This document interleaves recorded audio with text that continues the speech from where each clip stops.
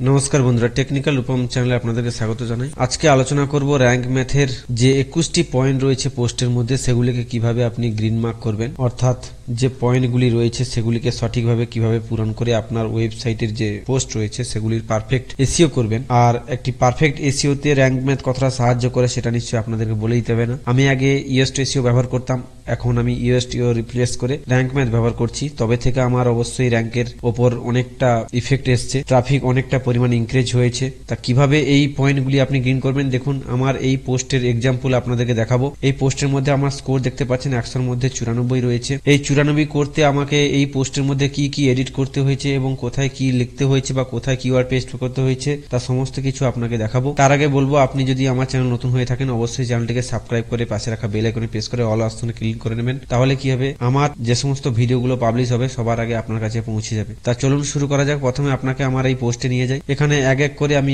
পাই two পাই পয়েন্টগুলি আলোচনা করব। প্রথম যে পয়েন্টটি আলোচনা করব, দেখুন এখানে রয়েছে using focus keyword in the SEO title অর্থাৎ আমার যে কিওয়ার্ড এখানে আমার কিওয়ার্ড হলো দেখুন বেস্ট সাউন্ড প্রুফিং মেটেরিয়ালস এই কি হলো আমার মেন কিওয়ার্ড অর্থাৎ ফোকাস কিওয়ার্ড এই কিওয়ার্ডটাকে আমাকে কোথায় ব্যবহার করতে বলছে এসিও টাইটেলে অর্থাৎ এই টাইটেলে এখানে দেখুন আমার কিওয়ার্ড রয়েছে বেস্ট সাউন্ড প্রুফিং মেটেরিয়ালস এটাই হলো আমার মেন কিওয়ার্ড টাইটেলের মধ্যে রয়েছে। আপনি যখন আপনার টাইটেলের মধ্যে কিওয়ার্ড পেস করবেন, তাহলে এটি গ্রিন হয়ে যাবে। এরপর আসব focus keyword used insight SEO meta description অর্থাৎ আপনার কিওয়ার্ডটি মেটা ডেসক্রিপশনের মধ্যেও থাকতে হবে। তার জন্য এখানে এডিট স্নিপেটে ক্লিক করে নেব। দেখুন এখানে রয়েছে, দেখুন বেস্ট সাউন্ড প্রুফিং মেটেরিয়ালস এখানে কিওয়ার্ড রয়েছে। তার জন্য এটি গ্রিন মার্ক হয়েছে। এরপর আসব পরের পয়েন্টে focus keyword use in the URL অর্থাৎ বলছে যে ইউআরএল এর মধ্যেও ফোকাস কিওয়ার্ডটি থাকতে হবে। এর জন্য আমার ইউআরএলটি আপনাকে দেখিয়ে দিই। এখানে যদি আমি ক্লিক করি, এখানে যে পারমা লিঙ্কে ক্লিক করি, দেখুন এখানে বেস্ট সাউন্ড প্রুফিং মেটেরিয়ালস আমার মেন কিওয়ার্ডটি ইউআরএল এর মধ্যে ব্যবহার করা হয়েছে। তার জন্য এটি গ্রিন মার্ক হয়েছে। আপনি এভাবে করে নেবেন। এরপর আসব পরের পয়েন্টে focus keyword appears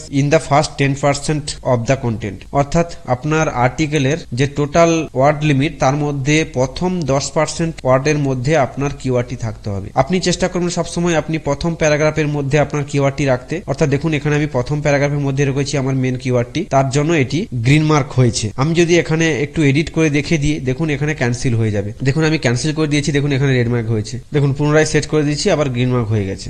এরপর আসব focus keyword found in the content অর্থাৎ ফোকাস কিওয়ার্ডটি যেটি রয়েছে, সেটি আপনার কন্টেন্টের মধ্যে উপস্থিত থাকতে হবে। অবশ্যই আপনার কন্টেন্টের মধ্যে যেখানে হোক না কেন উপস্থিত রয়েছে, তা এটি অবশ্যই গ্রিনমার্ক হয়ে যাবে। এরপরে যে পয়েন্টটি বলছে, সেটি হলো আপনার কন্টেন্টের ওয়ার্ড লিমিট। এখানে আপনি সবসময় চেষ্টা করবেন আপনার সমস্ত কন্টেন্টগুলি বা বেশিরভাগ কন্টেন্টগুলি আপনার সাইটের হাজারের উপরে ওয়ার্ডস রাখা তবেই এটি গ্রিনমার্ক হবে। আমার এই কন্টেন্টের মধ্যে ওয়ার্ড সংখ্যা রয়েছে, দেখুন two thousand seven hundred seven words তাই এজন্য গুড জব দেখিয়েছে এবং এটি গ্রিন হয়েছে। আপনিও চেষ্টা করবেন থাউজেন্ড প্লাস ওয়ার্ড লেখার জন্য। কীভাবে থাউজেন্ড প্লাস ওয়ার্ডস পাবেন, তার জন্য আমি আগের একটি ভিডিওতে দেখিয়েছিলাম। দেখুন, এখানে ইউনিক আর্টিকেল জেনারেটর টু এই ভিডিওটি দেখবেন, দেখে বুঝতে পারবেন যে কীভাবে আমি এতগুলি ওয়ার্ড একটা ইউটিউব ভিডিও থেকে লিখি। তা খুবই হেল্পফুল ভিডিও আপনি অবশ্যই ভিডিওটি দেখে নেবেন। আমি ভিডিওর ডেসক্রিপশন বক্সে লিঙ্কটি দিয়ে দেবো, আপনি সেই লিঙ্কে ক্লিক করে অবশ্যই দেখে নেবেন। এরপর বলছে focus keyword found in the subheading অর্থাৎ বলছে কি, আপনার আর্টিকেলের মধ্যে হেডিং বা সাবহেডিং অবশ্যই ইউজ করছেন। সেই সমস্ত হেডিং বা সাবহেডিং এর মধ্যে আপনার কিওয়ার্ড উপস্থিত থাকতে হবে। তাহলে কি হবে? এই পয়েন্টটি আপনার গ্রিন মার্ক হয়ে যাবে। এরপর আসছি focus keyword found in the image alt attributes অর্থাৎ আপনি যে সমস্ত ইমেজগুলি ব্যবহার করছেন, আপনি চেষ্টা করবেন বেশিরভাগ ইমেজে বা প্রথম যে ইমেজটি ব্যবহার করছেন, সেই ইমেজে যে অল্ট অ্যাট্রিবিউট সেখানে আপনি ফোকাস কিউআরটি লাগাবেন। আমি এই কন্টেন্টে এই ইমেজটির অল্ট অ্যাট্রিবিউটস আপনাকে দেখিয়ে দিচ্ছি। এখানে আমি ক্লিক করলাম। ক্লিক করার পর এখানে যদি আমি সেটিং অপশনে ক্লিক করি, দেখুন এখানে আমার মেন কিউআরটি রয়েছে বেস্ট সাউন্ড প্রুফিং মেটেরিয়ালস আপনিও চেষ্টা করবেন দু একটি ইমেজ আপনার কিউআর দ্বারা অল টেক্সট করতে। তাহলে আপনার সেই পয়েন্টটি গ্রিন হয়ে যাবে। এরপর যে পয়েন্টটি বলছে সেটি হলো কিওয়ার্ড ডেন্সিটি অর্থাৎ আপনার যে মেন কিওয়ার্ডটি আপনার কন্টেন্ট অর্থাৎ টোটাল আর্টিকেলের মধ্যে আপনি কতবার ব্যবহার করবেন, সেটি এখানে নির্ধারণ করবে। সবসময় চেষ্টা করবেন আপনার কন্টেন্ট যদি সাপোজ ধরা যায় একশো ওয়ার্ড তাহলে আপনি সে জায়গায় দুটি কিওয়ার্ড ব্যবহার করবেন। তাহলে কি হবে? আপনার এইভাবে গ্রিন হয়ে যাবে। আমার এখানে দু হাজারের উপরে ওয়ার্ডস রয়েছে, তাহলে বুঝতে পারছেন আমার এখানে কতবার কিওয়ার্ডটি ব্যবহার করা উচিত বা দরকার র্যাঙ্ক ম্যাথের হিসাব অনুযায়ী। কিন্তু আমি এতবার ব্যবহার করতে পারিনি, তাই এজন্য এটি ক্রস মার্ক দেখেছে আপনি চেষ্টা করবেন যতটা সম্ভব করা যায়। এই নয় কি র্যাঙ্ক বলেছে বলে যে একশোটা ওয়ার্ডস এর মধ্যে আপনাকে দুবার কিওয়ার্ড ব্যবহার করতে আপনি চেষ্টা করবেন যতটা সম্ভব বাড়ানো যায় আপনার কিওয়ার্ডটি আপনার আর্টিকেলের মধ্যে রাখা তবেই এটি আপনার গ্রিন হয়ে যাবে। এখানে আমি মাত্র দুবার ব্যবহার করেছি। তার জন্য এভাবে ক্রস মার্ক হয়ে আছে, আমার এটি গ্রিন মার্ক হয়নি। এরপর যে পয়েন্টটি হলো, সেটি হলো ইউআরএল এর ক্যারেক্টার লিমিট এখানে আমার ক্যারেক্টার লিমিট রয়েছে, দেখুন ফিফটি থ্রি পারমা লিঙ্কের যে ক্যারেক্টার লিমিট সেটি আপনাকে পঁচাত্তরের মধ্যে রাখতে হবে। পঁচাত্তরের বাইরে গেলে এটি আপনার ক্রসমার্ক হয়ে যাবে। পঁচাত্তর বলতে আপনার কিওয়ার্ডটি নয়। সমস্ত আপনার এইচ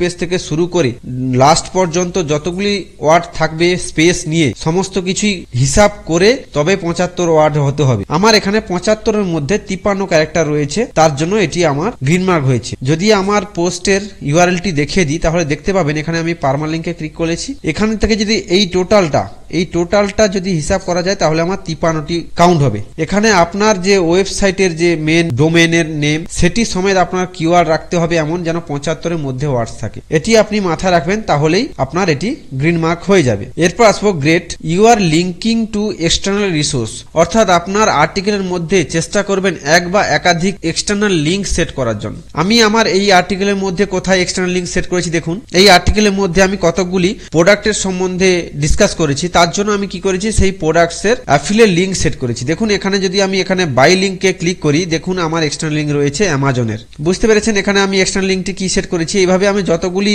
বটমগুলি সেট করেছি, অর্থাৎ বাই লিঙ্ক দিয়েছি, সেগুলিতে আমি কি করেছি? এক্সটার্নাল লিঙ্ক সেট করেছি। আপনি চেষ্টা করবেন যে কোনো কিওয়ার্ডের মধ্যে আপনার এক্সটার্নাল লিঙ্কটি সেট করার। কারণ আপনি যে কিওয়ার্ডের উপর এক্সটার্নাল লিঙ্ক সেট করবেন, সেটি একটি আপনার মিনিংসফুল ওয়ার্ডস হতে হবে। আর একটা কথা আপনাকে মাথায় রাখতে হবে, আপনি যে সাইট থেকে এক্সটার্নাল লিঙ্ক করবেন, সেই সাইটটি একটি ট্রাস্টেড সাইট হতে হবে। এই নয় কি আপনি যে কোনো একটি সাইটের লিঙ্ক নিয়ে আপনার ওয়েবসাইটে এমবেড করে দিলেন, যার ডিএ পিএ সমস্ত কিছু অনেক ডাউন যার স্প্যাম কোর অনেক হাই সেক্ষেত্রে আপনার ওয়েবসাইটের ইফেক্ট আসবে। তো যেমন উদাহরণ দিই গুগলস অ্যামাজন ইয়াহু এই সমস্ত সমস্ত যে ট্রাস্টেড কোম্পানি রয়েছে, আপনি চেষ্টা করবেন সেই সমস্ত লিঙ্ক দিতে। এছাড়াও উইকিপিডিয়া এই সমস্ত লিঙ্ক দেবে তাহলে আপনার ওয়েবসাইটের উপর কোনো ইফেক্ট আসবে না। আশা করি বোঝাতে পেরেছি এক্সটার্নাল লিঙ্ক কীভাবে করবেন। এবার আসব পরের পয়েন্টে you are linking to other resource on your website which is great অর্থাৎ এখানে বলছে, আপনার একটি আর্টিকেলের মধ্যে যখন অন্য একটি আর্টিকেলের লিঙ্ক পেস্ট করবেন বা এমবেল করবেন, তখনই আপনার এটি ইন্টারনাল লিঙ্ক হিসেবে গণ্য হবে এবং তখন এটি গ্রিন মার্ক হবে। দেখুন এক্সটার্নাল লিঙ্কের মতন আপনি ইন্টারনাল লিঙ্কের ক্ষেত্রেও একটু মনোযোগ দেবেন যে আপনি যে কিওয়ার্ডের ওপর আপনি ইন্টারনাল লিঙ্কটি দিতে চাইছেন, অর্থাৎ আপনার অন্য আর্টিকেল লিঙ্ক পেস্ট করতে চাইছেন, সেই সেন্টেন্সটি যেন একটু মিনিংফুল হয়। এখানে আমি যদি এই লিঙ্কটি আমার ইন্টারনাল লিঙ্ক ধরি, তাহলে এখানে দুটো ওয়ার্ড রয়েছে সাউন্ড প্রুফিং কার্টেন্স এখানে এটি একটি মিনিংফুল সেন্টেন্স হয়েছে। আপনি এইভাবে চেষ্টা করবেন যে আপনার ইন্টারনাল লিঙ্কটি এইভাবে সেট করার জন্য।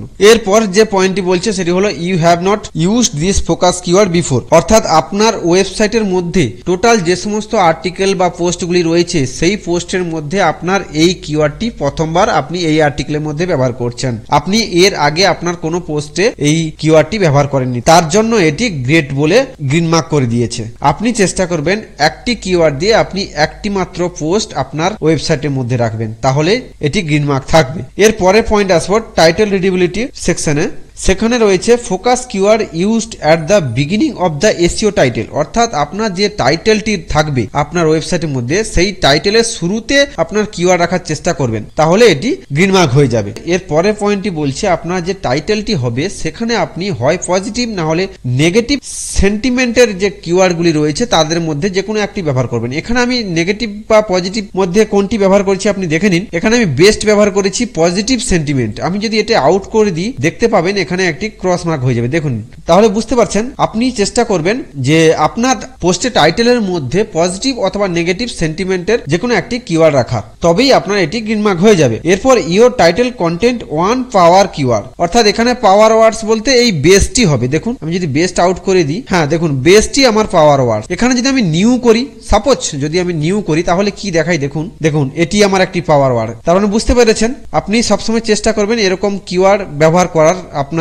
টাইটেলের মধ্যে। এরপরে যে পয়েন্টটি হলো, সেটি হলো you are using number in SEO title আমি এখানে আমার টাইটেলের মধ্যে একটি নাম্বার ব্যবহার করছি। আপনি চেষ্টা করবেন আপনার টাইটেলের মধ্যে যে কোনো একটি নাম্বার ব্যবহার করতে। দেখুন, এখানে আমি নাম্বার বলতে পনেরো ব্যবহার করছি, অর্থাৎ fifteen best sound proofing materials এখানে ব্যবহার করছি। আমি যদি এই পনেরোটাকে উঠিয়ে দিই, তাহলে কি হয় দেখুন? তবুও উঠছে না। কারণ কি জানেন? আমি এখানে আরেকটি সেটিংস করে রেখেছি, সেটি হলো, আপনি যদি নাম্বার এইভাবে না দিতে চান, তাহলে আপনি কি করবেন? আপনি এখানে এডিট স্নিপেটে ক্লিক করবেন। এখানে দেখুন, যেখানে কারেন্ট ইয়ার লেখা রয়েছে না, এখানে আমি কারেন্ট ইয়ার পেস্ট করে দিয়েছি। অর্থাৎ আমি যদি এটি তুলে দিই, তাহলে দেখতে পাবো এটি ক্রস মার্ক হয়ে যাবে। দেখুন, এখানে ক্রস মার্ক হয়ে গেছে, অর্থাৎ বলছে কি, আমার টাইটেলের মধ্যে নাম্বার নেই। এখানে যদি আপনার টাইটেলে নাম্বার দেওয়ার মতো টাইটেল না হয়, তাহলে আপনি কি করবেন? আপনার টাইটেলের শেষে কারেন্ট যে ইয়ার থাকে, সেটি এমবেড করবেন। সেটি কীভাবে করবেন? আপনি, আপনার যে টাইটেলটি থাকবে, সেটি থাকবে, তারপরে আপনি কি করবেন? এখানে এডিট স্নিপেটে ক্লিক করে নেবেন। তারপরে এখানে যে টাইটেল অপশনটি রয়েছে, এখানে আপনি কি করবেন? কারেন্ট ইয়ার চুজ করে নেবেন। তাহলে কি হবে? তাহলে কি হবে? বর্তমান যে সালটি চলবে, সেটি অটোমেটিকই প্রতি বছর চেঞ্জ হতে থাকবে এবং সেটি একটি নাম্বার হিসেবে গণ্য হবে। তারপর দেখুন, এখানে আমি যদি নিয়ে যাই, তাহলে দেখুন, এটি গ্রিন মার্ক হয়ে গেছে। এরপর আসব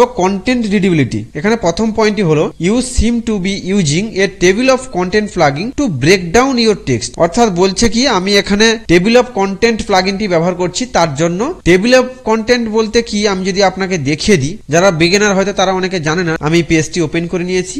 ওপেন করার পর আমি যদি একটু নিচে নামি, দেখুন, এখানে হলো, আমার এটি হলো টেবিল অফ কন্টেন্ট এখানে যদি কোনো ভিউয়ার ক্লিক করে, তাহলে ডাইরেক্ট আমার ওই হেডিং বা সাব হেডিং এর মধ্যে জাম্প করতে পারবে। সাপোজ আমি এই এগারো নম্বর হেডিংটিতে যেতে চাইছি, তাহলে আমি যদি এটিতে ক্লিক করি ডাইরেক্ট আমাকে ওই হেডিং এর উপর জাম্প করবে। দেখুন, এখানে জাম্প করে নিয়ে গেছে। আপনি এটিকে ব্যবহার করবেন, তবেই আপনার এটি গ্রিন মার্ক হয়ে যাবে। আশা করি বুঝতে পেরেছেন। এরপরে হচ্ছে কি you are using short paragraph অর্থাৎ আপনার যে প্যারাগ্রাফগুলি আপনি আপনার ওয়েবসাইট বা আর্টিকেলের মধ্যে লিখতে যাচ্ছেন, আপনি সবসময় চেষ্টা করবেন প্রত্যেকটি প্যারাগ্রাফের মধ্যে এক থেকে দুই সেন্টেন্স বা হার্ডলি তিন সেন্টেন্স রাখার চেষ্টা করবেন। এখানে দেখুন আমার প্রত্যেকটি প্যারাগ্রাফ এটাই আমার একটি প্যারাগ্রাফ এখানে আমার কটি সেন্টেন্স রয়েছে, দেখে নিন। এখানে এই পর্যন্ত একটি আর এই পর্যন্ত একটি। দেখুন, এখানে দুটি রয়েছে। তারপরে প্যারাগ্রাফটি আপনাকে যদি দেখিয়ে দিই, এখানে রয়েছে একটি, এখানেও দুটি রয়েছে।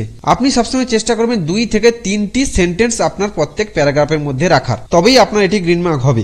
যদি মনে হয় যে দুটি সেন্টেন্সে আপনার প্যারাগ্রাফটি অনেক ছোট হয়ে যাচ্ছে, তখন আপনি তিনটে সেন্টেন্স অ্যাড করবেন। না হলে আপনি কখনোই তিনটে সেন্টেন্সের বেশি ব্যবহার করতে যাবেন না আপনার একটি প্যারাগ্রাফের মধ্যে। এরপর আসব your content content image and or videos অর্থাৎ আমার এই কন্টেন্টের মধ্যে ইমেজ এবং ভিডিওর মধ্যে আমি যে কোনো একটি ইউজ করছি, তার জন্য এটি গ্রিন মার্ক হয়েছে। আপনি যদি ইমেজ বা ভিডিও কোনোটিই না ইউজ করেন, তাহলে এটি আপনার কখনোই গ্রিন মার্ক হবে না। এখানে যদি আমি ইমেজ না ব্যবহার করে ভিডিও এমবেলেট করতাম, তাহলেও এটি গ্রিন মার্ক হতো। দেখুন, আমি এখানে ইমেজও ব্যবহার করছি ভিডিও এমবেলেট করেছি। লাস্টে যদি আপনাকে দেখিয়ে দিই আমার পেজটি তাহলে দেখতে পাবেন আমি এখানে ভিডিও এমবেলেট করেছি। তার জন্য এটি গ্রিন মার্ক হয়ে গেছে। আর আপনি যদি ভিডিও ব্যবহার না করেন, তবুও আপনার গ্রিনমার্ক এটি হবে। কারণ আপনি অবশ্যই আপনার কন্টেন্টের মধ্যে একটি না দুটি ইমেজ অবশ্যই রেখেছেন, তখনই এটি গ্রিনমার্ক হয়ে যাবে। অর্থাৎ আপনার যে কোনো একটি মিডিয়া ফাইল আপনার কন্টেন্টের মধ্যে রাখতে হবে। আশা করি বুঝতে পেরেছেন বন্ধুরা, কীভাবে আপনি আপনার একটি আর্টিকেলের মধ্যে পারফেক্ট এসিও করবেন, অর্থাৎ র্যাঙ্ক ম্যাথ অনুসারে আপনি কীভাবে এসিও করবেন। দেখুন, এখানে আমি এভাবে সমস্ত কিছু পূরণ করে তবেই আমার চুরানব্বই স্কোর রেখেছি। এখানে আমার অন্যান্য পোস্টগুলি স্কোরগুলি দেখুন, আমি এইভাবেই স্কোর